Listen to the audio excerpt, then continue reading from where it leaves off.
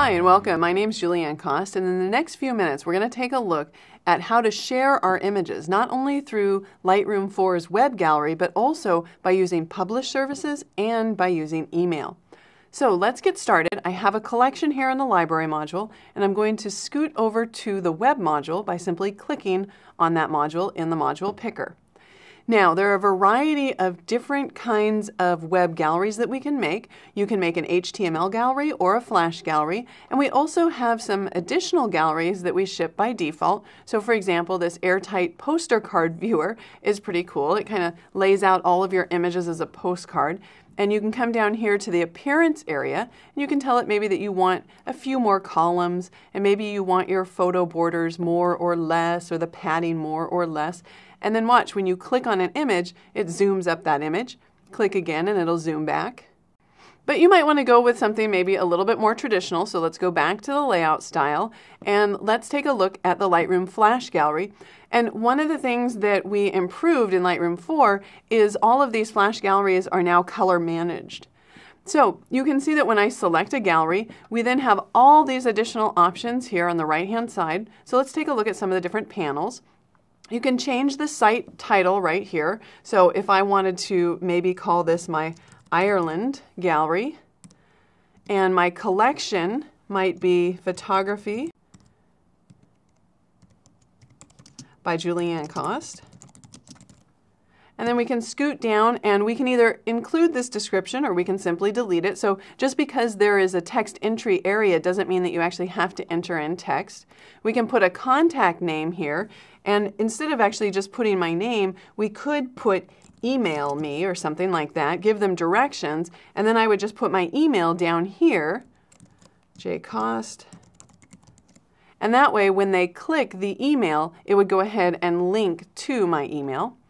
In the color palette area, you'll notice that you can change all of the different colors for things like your text and your header and your menu.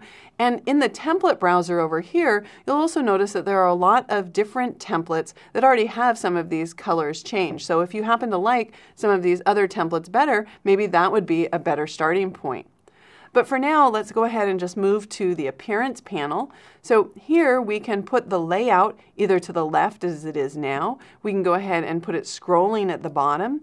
We could do it paginated or we can do a slideshow only. So you can actually create a slideshow within the web module in order to post to the web. We can add our identity plate, which adds either a graphical or a text identity plate up here in the upper left. And we can see that I can change that out by either clicking here and selecting one of my presets or going to the edit menu here and then entering in either whatever text I want or using a different graphic. But for now, let's just go ahead and leave it. I'm actually going to turn it off. We have control over our large images and our thumbnail images. Now to show this, let's go ahead and move back maybe to the scrolling option here. And I'll leave the large image size alone, but let's change the thumbnail size, maybe take that down to medium so that we can see a few more images at one time down along the bottom. We can also change our image info and here you'll notice by default that I can show a title and a caption, but we can change that right here because I might not have entered in titles for my images or captions in my images because this information Lightroom is getting from the metadata of the file. So maybe instead I just want to show my file name there. And now you can see that that file name appears underneath the image. As far as output settings go, we can determine the quality of compression on those large images. We can decide what metadata we want to include in the file. Of course, if we choose to only do the copyright, the file size is probably going to be a little bit smaller. And we can also choose to add a watermark, which you can see down there in the left-hand corner. And we can change that template as well, just like we did the identity plate. And we can use either text or graphics. And we can choose to sharpen all of these images, either low, standard, or high. Once we've got our template all set up, then we go down to the upload settings and we go ahead and create a preset with all of the information that we need to upload this gallery to our website. All right, so that is the Flash gallery. If we go back to the layout style, you'll notice there's also an HTML gallery. And the HTML gallery is just going to differ a little bit in as far as what options you have. So again, I could go over here and change the site title. I can also change the site title right in line here. So I could put photography by Julieanne and then maybe change this title here to Ireland 2011 and so on. So I can either change the text or if I delete the text, then it will just kind of move up my image area next to the text that is there. I can change my contact name like we just saw before. I can add an identity plate. We can change the different colors. I can change the appearance. So maybe in my thumbnail view, I want to see more thumbnails. Right now, I'm actually looking at a larger image, so let's go back to the index so that we can see the grid there of the index. And you can see I can make that as wide or as deep as I want to, or we can just leave it very small if we think maybe our viewers are going to be on smaller monitors.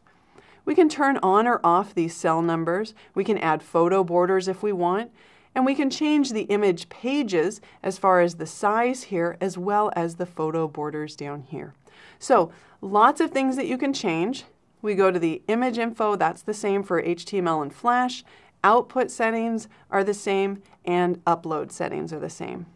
The key is once you've created the template that you like, if you want to use this template with other sets of images, then you would save that template in the template browser.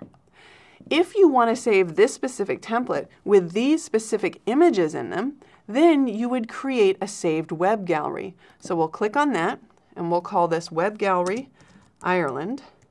And we'll save it inside my collection set called Ireland. We'll click Create, and then just like we saw when we were in Slideshow or Print or the book module, when I'm in the library module and I've navigated to other folders and other collections, if I want to quickly go back to the web module and view that collection of images, I can just click on the arrow in the library module and I see that whole project. All right, so that's one way that we can share our images online. Another way we can do that is if we return back to the library module we have a variety of different published services. Now, by default, we have one set for the hard drive. So if I just want to automatically publish images to my hard drive, um, maybe I want to sync them with my phone or something like that, I can do that by just going here to the Publishing Manager and setting up a publishing settings for my hard drive.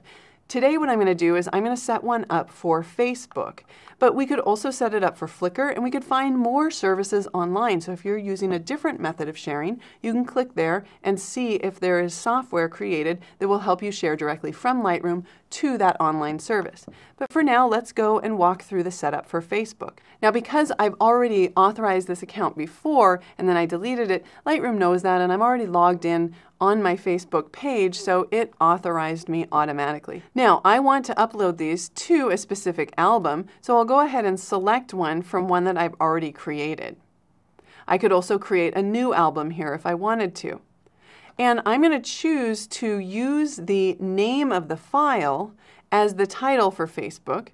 And I'm going to go ahead, if I update my photos, I'm going to replace the existing title. I also need to give this a description. So let's just give it demo for right now for my published services. And then I'm going to leave my file naming the same so that my images on disk are the same name as the ones that I published to Facebook.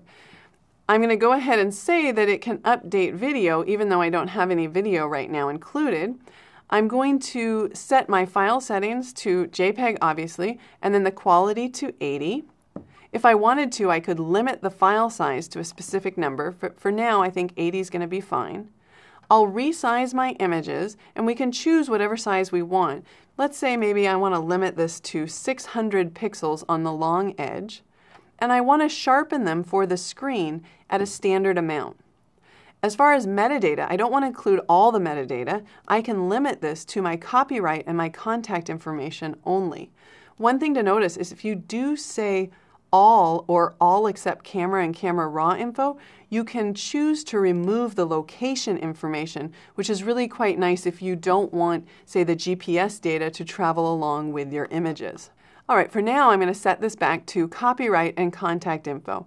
And if you want to add a watermark when you export your images up to Facebook, you can do that right here. But I'm going to turn that off for now. Now, once I've set this up the way I want it, I'll go ahead and click Save, and now you can see that